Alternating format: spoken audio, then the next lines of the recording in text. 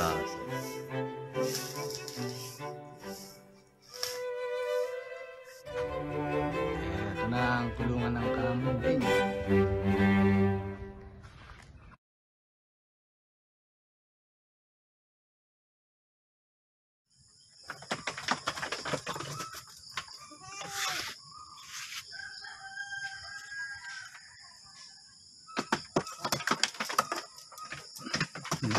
Kayo mga kambing. Oy.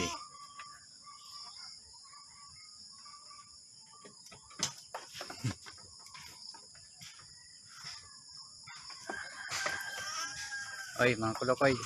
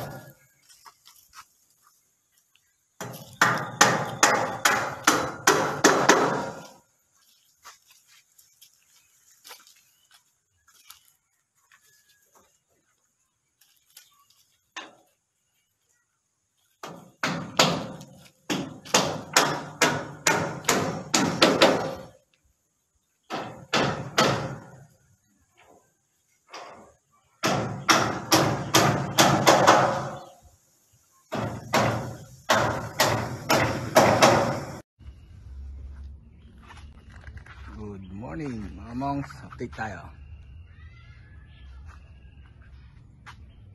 Ito na ang kulungan ng kambing. Tapos na siya. May galaan na pintuan. Uncle, mas matibay pa yung bahay ng kambing mo ah. Kaysa sa bahay mo. Baka lang pinto.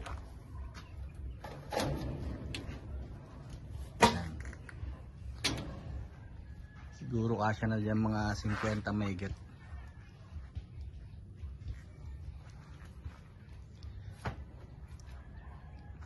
Si Uncle nag-exercise po.